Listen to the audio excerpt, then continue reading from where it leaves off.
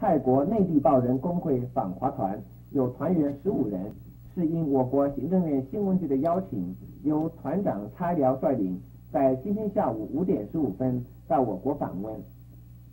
新闻局联络室主任黄老生等曾经在机场迎接。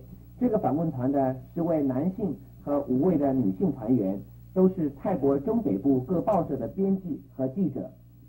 他们将拜会我国政府首长，并且参观经济、军事、教育和文化等各方面的进步实况。预定在我国访问四天。